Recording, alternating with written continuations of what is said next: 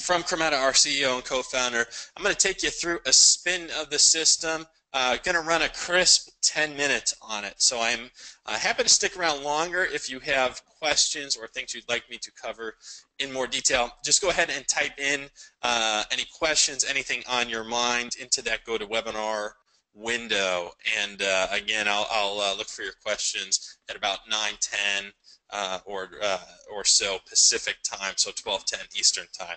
But with that, I'm just going to go ahead and get rolling, and let's uh, start uh, just with where we're going to get everything installed. So how Chrometa works, as uh, you probably know, we're capturing time passively, is what we call it. So as you work uh, on your computer, whether it's a Mac or a PC, um, we're going to take uh, basically start and stop a timer implicitly as you move activity. So if you're in an email, we'll capture the time you spend on that email. For a document, we'll capture how much time you spent in a given document, what's the title of that document, so what are the details associated with that. So uh, you'll get started on our free trial page here. I can, uh, I'm actually going to copy and paste this into the chat window here for you as well. Useful link um, to keep in mind, you can get here from our homepage as well. But if you also want to add additional devices for tracking, whether um, we're talking, again, computers or uh, mobile uh, tracking as well, um, you can head on in here so you can add devices to your account. Let me uh, spin over to Chrometa itself. So this is my time that I've captured so far um, this morning. So how we're uh, capturing it is actually doing a play-by-play um, down to the minute. So from the time that I start working, so in my case here, 8:22 a.m. my time. Uh, what was I working on and for how long? And then what are the details associated with that activity? So um, we're again doing the uh, uh, play-by-play here down to a level of detail all the way down to a minute if we're jumping around at that frequency. And then what we're doing is rolling that time up into a summary. So uh, for example, for an email, uh, we're going to look at uh, what uh, email I was in, whether I was uh, reading it, replying to it, and what are the details associated with that email. So for example, in this case here, the email that I've got highlighted, I spent two minutes on the email. That was a, the subject line was affiliate program, so that's the start there. And then you can also see the to and the from of that email. So I've got um, this entry captured so that I can later categorize it to um, a given client, a given project. Make sure that this this two minute entry maybe I otherwise would have lost track of is going to end up on my bill. Um, let's also go over. Uh, I've got some document time here. So this is some, time I spent in Microsoft Word. So I spent eight minutes in total working on uh, this document here. So you can see over on the right side, eight total minutes spent here. And then for websites that I hit as well, we're going to get the window title, and then we're also capturing the URL for you uh, there also. So when it's time to move uh, this time down to our timesheet, there's a few ways we can do it. So just kind of walk through. Um, I'm going to walk through the most basic ways to do it, and then we'll get get into some tips and uh, shortcuts. So um, at the most elementary level, just to move this time entry uh, down to our timesheet, what I'm going to do is just search for the project that I want to uh, move this down to. So I can highlight my project here. Uh, I can just click it if I want to move it down to that project, or I can hit the little pen button here if I want to also annotate it at the same time.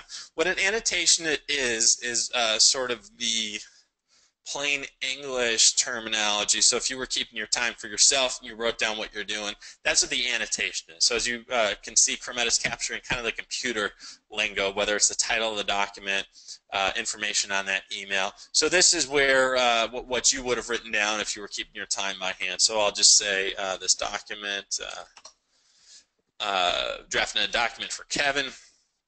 I'm moving it down to uh, here. So now you see it moves from my unbilled time down to my timesheet. It rounded up to a 12 minute entry because I've got a rounding setting here set on uh, six minutes. So that rounded it up from uh, where it was, I think it was at seven, up to 12 here.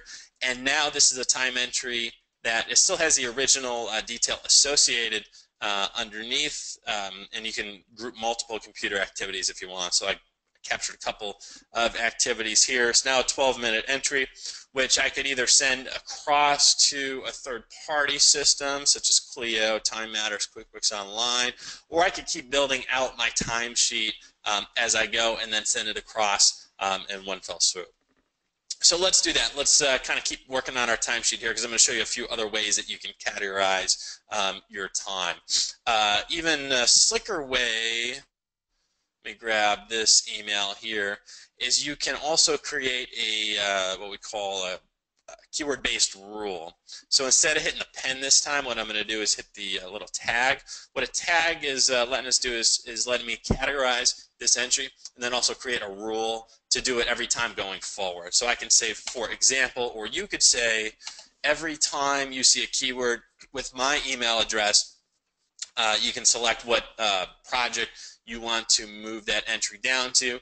And then when you hit categorize and create the rule, uh, that will move it down. You can also do a little preview here, and this will show you uh, some of the recent entries that you're going to be categorizing um, when you do this. You can also apply it to the past. So if you want to say, okay, I want to categorize all these past entries and then do it uh, also in the future, um, we could create that rule um, as such. What this is going to do for us is it's going to bucket more and more time um, from our unbilled time into our timesheet as it's captured. What this it's basically acting like um, folks who use email filters or, or I think they I think they're called rules in Outlook or filters in Gmail. That's what we're doing here is where we're just filtering something if we see it and then we're dropping it down um, to your timesheet for you. Uh, let's talk about mobile here. So I've got some mobile time captured yesterday. Uh, so let me show you what I've got here. So I have our Chrometa app installed on my uh, Note phone, which runs Android. So these are the uh, text messages and phone calls from yesterday. So for example, uh, Bert, our accountant, he called me um, yesterday afternoon. I spent eight minutes talking to Bert. I can categorize this if I would like, although Bert bills me, I don't bill him, but um, let's pretend if he was one of my clients, I could uh, categorize that time again uh, using the same methods I showed you. I could also create a rule, and say every, every time I talk to Bert, I want it to automatically categorize down here. So on Android, we're going to do phone calls. We're also going to do text messages, and then as you can see, I've got him in my contacts, so that's why it has assigned that time um, to him as well. For iPhone, a uh, little different just because, as you know, Apple's a little difficult to develop for. So what we're doing on iPhone is we're capturing the uh, phone calls, text messages from your carrier, uh, but then similarly importing these into Chrometa so you can categorize those from there. So I got a couple minutes left, so let me just kind of run through some uh, shortcuts for you, some things that I think will uh, hopefully help you out. So as I mentioned, so I start working this morning at 8:22. Let's say a bunch of this time is all uh, one thing. So I've got a lot of detail here. Let's say this is all for the same client. What I'm going to do is hold down the left, uh, the Shift key while I left click at the top, and then keep that Shift key held down while I left click at the bottom. What that's going to do is categorize all the time in between here. And what I can now do is I want to say I'll, I'll move it to a project and I can give it all the same annotation. So I can say that this was all um, all the same uh, really important uh, billable time entry. So that's going to be my annotation. You can see on the right here, it also flipped it all to the same category. Now back on my summary, what I've got is all that time, all those individual time entries. They're now down on my timesheet under that project that I moved them to, and they all have that uh, annotation that I gave them as well. And, and the rounding setting was also applied. So that's a nice way to sweep a lot of time uh, quickly into a category. Uh, one more shortcut that we uh, recently developed over here, we've got the little slider at the top also. So if you want to move the slider around, you can see it's going to highlight entries below. You can hit the group button. This is going to let you group a bunch of entries into one uh, as well. So kind of a similar technique to the one that I just used here.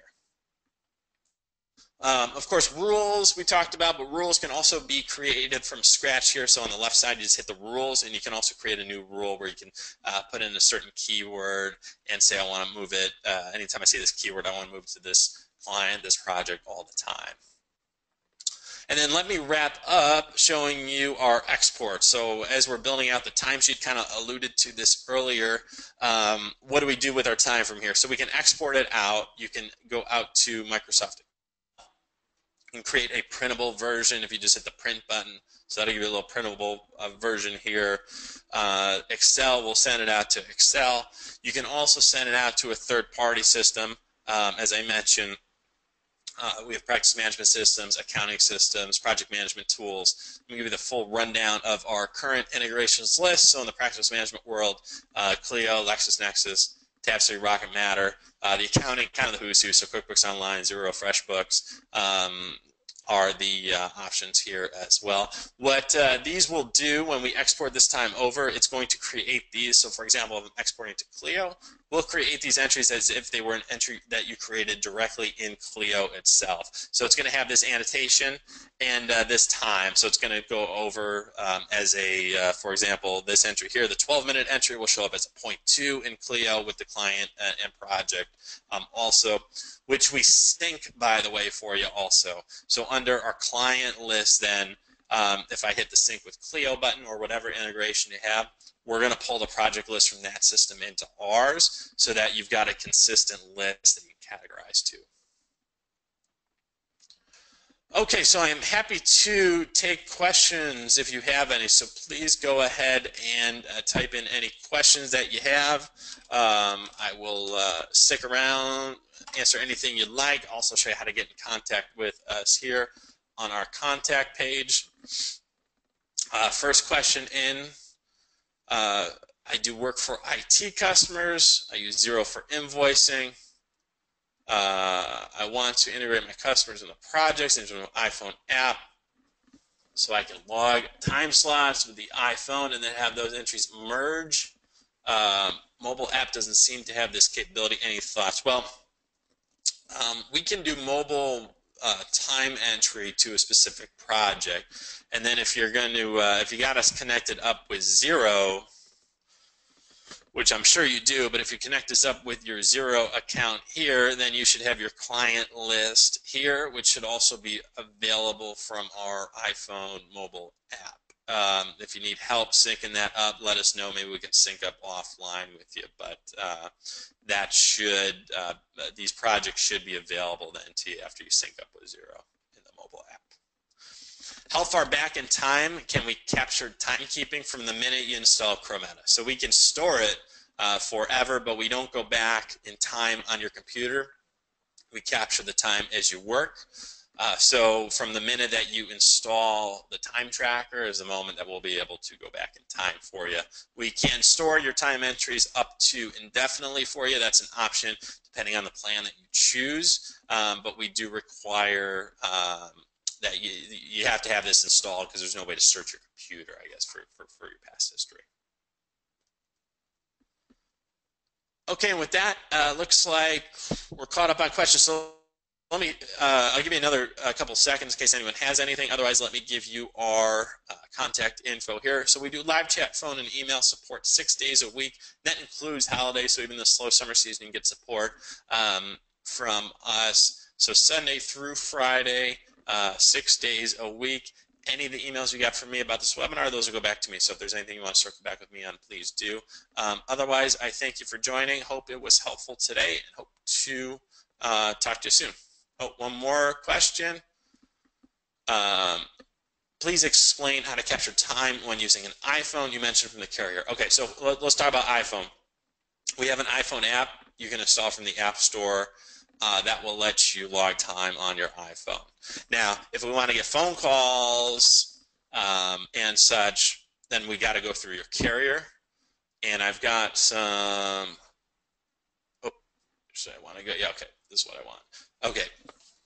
Depending on your carrier, these are going to be your instructions. So for, for Verizon, AT&T, or Sprint, you you are going to grab. Um, call log from your online, and then um, and then that's when uh, you're going to be able to upload it. So basically, what we have uh, within Chrometa is going to be uh, a little iPhone icon here. We can take in a spreadsheet with your uh, bill. So that's the way to do it for iPhone.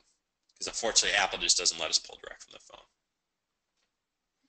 And then, yeah, please do contact support about the project integration on the iPhone. Uh, they'll be able, should be able to help you out with that. Okay, and it looks like that uh, is it for now. I thank you for joining. Uh, again, hope it was helpful. And uh, please stay in touch. Uh, hope to talk to everyone soon.